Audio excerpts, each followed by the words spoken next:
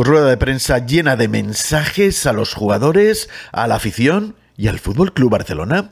Hola, hola, hola, madridistas, ¿cómo estáis? Bienvenidos a Voz Madridista Televisión, el videoblog más madridista de todo el internet.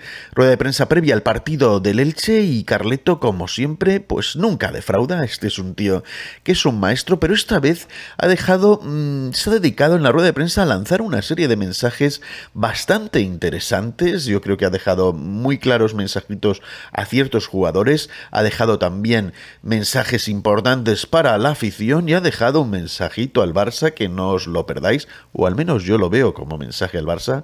Decidme vosotros si lo interpretáis de esa manera. Y al final ha dado algunas pistas sobre el 11 eh, que yo os voy a dejar el que creo que va a sacar al final del vídeo para que vosotros me digáis si estáis de acuerdo o no. Primero vamos a empezar con un mensajito a los de la lista FIFPro que yo os comentaba en el vídeo pasado. La lista no la conozco. Que no bien hecho me parece raro. O sea,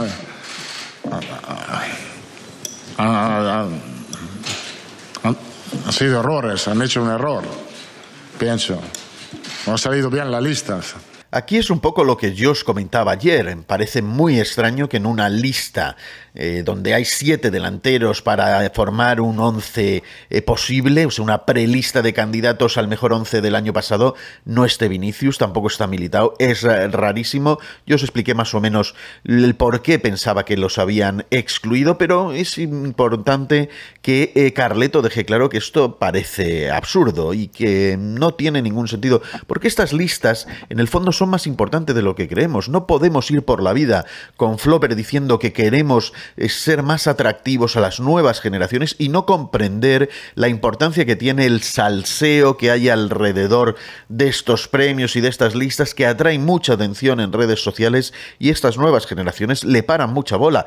De hecho, si veis el look de cómo presenta FIFPro estos candidatos, eh, tiene un look muy parecido a lo que podéis ver en el FIFA de la PlayStation o en cualquier videojuego y ese look no es casual. Están buscando también ser más atractivos para ese público que juega el FIFA y a lo mejor no ve el fútbol, pero sí le gusta ese salseo que además luego pues incide en los rankings del videojuego.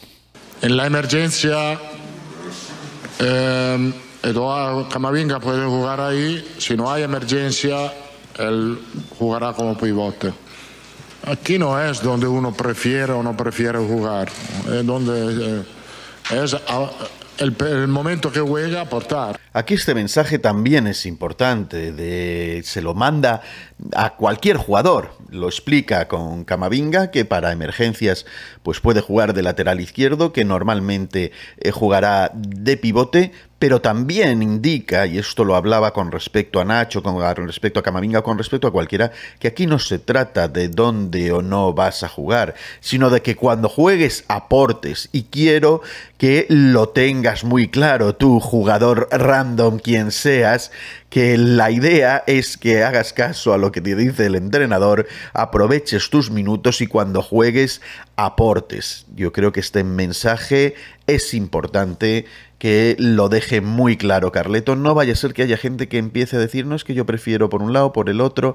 Aquí hay que ser como Valverde que dice, sí, bueno, me siento bien como interior, pero donde me ponga el mister, pues lo haré como haga falta. Creo que la afición conoce muy bien lo que puede hacer el equipo, que va a pelear a todos los partidos, en todas las competiciones, todos los minutos.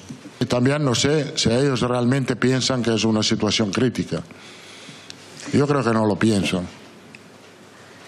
Aquí hay un mensaje a la afición. Eh, confiad en el equipo, sabéis que el equipo puede responder ante cualquier situación y que en la situación no es tan crítica como pueda aparentar. De todas formas, si Carleto piensa que la afición no, no cree que la situación es crítica, es que debe visitar poco Twitter porque ahí está todo incendiado, ya quieren cambiarle, ya quieren hacer todo tipo de cuestiones, pero Carleto lanza un mensaje de tranquilidad y de confianza en el equipo y esto es importante. Y vamos con las cosas que se ha referido al Fútbol Club eh, Barcelona?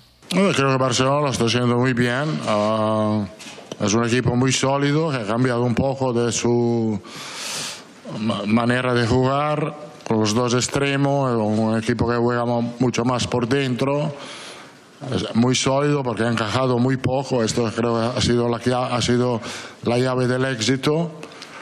Me gusta ver a Carleto tan analítico porque creo que además es bastante certero aquí. Si nos fijamos en las claves del por qué el Barcelona está sumando tantos puntos, yo creo que las tiene muy claras. Más allá del jugar con red, con el colchón arbitral, que eso pues ayuda, pero también hay que reconocer que ha habido una mejoría y es una mejoría se debe a un cambio táctico que ha hecho Xavi Hernández. Xavi Hernández que jugaba al principio con dos extremos tratando de volear balones a este Lewandowski, lo ha cambiado, ha sacado ahora un cuarto centrocampista, eliminando a uno de los extremos, y Lewandowski hace más de pivote para que lleguen en segunda oleada esas entradas de Pedri, de Gaby, etcétera. Y es bueno que lo tenga identificado para que no nos vuelva a suceder lo de la Supercopa y se pueda contrarrestar el elemento técnico. Aquí también hay un cierto mensaje al Barça de te tengo calado, ¿eh? ¿eh?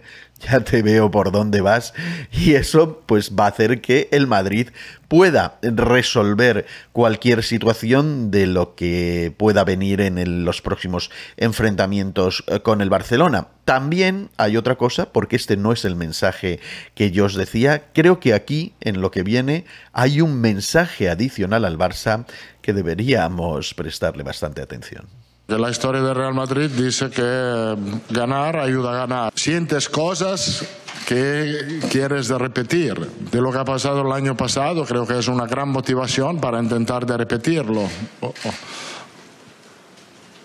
O, para intentar de repetirlo, para que no sean otros que puedan sentir lo que has, que has sentido tú en todas las fiestas, las celebraciones. Tenemos desventaja en la liga, pero esto nos eh, impone de pelear todos los partidos, como si fuese el último. Aquí es donde os digo que creo que hay un mensaje interesante, porque primero le dice a los eh, jugadores que nuestra motivación es ganar para volver a sentir lo que hemos sentido, esa gloria, las mieles del triunfo que decían los romanos, pero no solo es eso, sino que también es para evitar que otros tengan esa gloria, ¿no? Y aquí es un punto, es un detalle interesante, ¿no? De decirle a los jugadores, hey, no lo hagáis que estos tíos luego ya sabéis cómo van a dar la brasa, van a ser insoportables,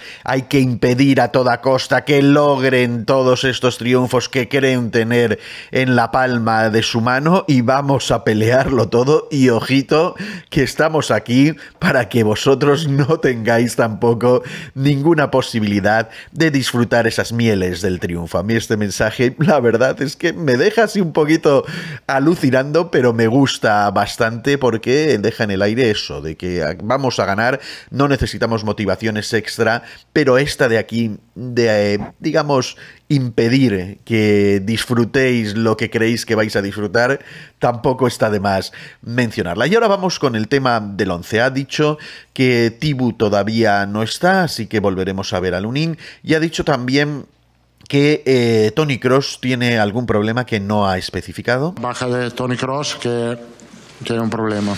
Así que viendo que este es un partido, digamos, de trámite, entre comillas, que ninguno lo es, contra el Elche y viendo lo que se viene después, Osasuna fin de semana, Liverpool el martes, yo creo y especulo que Carleto podría salir con el siguiente 11. En la portería, por supuesto, Lunin.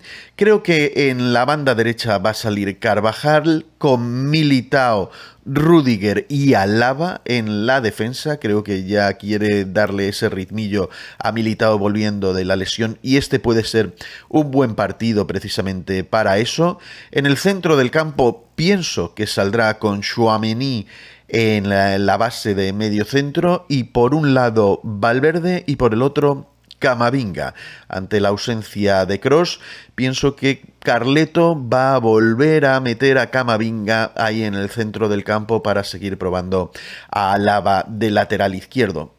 Aquí es donde yo tengo dudas de si va a salir con 4-3-3 o se va a animar a, meter a Modric otra vez ahí de punta de rombo como fue en la semifinal del Mundialito, pero mmm, yo entiendo que se irá por 4-3-3 con estos tres en el centro del campo. Y adelante entiendo que podría salir con Asensio, con Karim Benzema y con Rodrigo. De hecho, lo de Rodrigo lo ha garantizado que va a ser el sustituto de Vinicius porque acordaros, Vinicius está con una tarjeta de sanción. En fin, ¿qué os parece a vosotros los mensajes que ha dejado Carleto en la rueda de prensa? ¿Creéis que este asunto de que los otros no lo disfruten es un mensajito hacia el Barça. ¿Os gusta cómo está la situación del equipo? ¿Pensáis que, como él dice, la afición no piensa que estamos en una situación crítica? Dejadme los mensajes que queráis aquí abajo. También comentadme si el 11 que creéis que va a salir contra el Elche es el que yo os digo o pensáis que habrá otro tipo de modificaciones. Como os digo, mensajitos y mensajes y comentarios aquí abajo. Compartid el vídeo en todas vuestras redes sociales. Dadle like si os ha gustado, suscribíos al canal si todavía no lo habéis hecho y hasta el próximo vídeo. ¡Chao! ¡A la Madrid!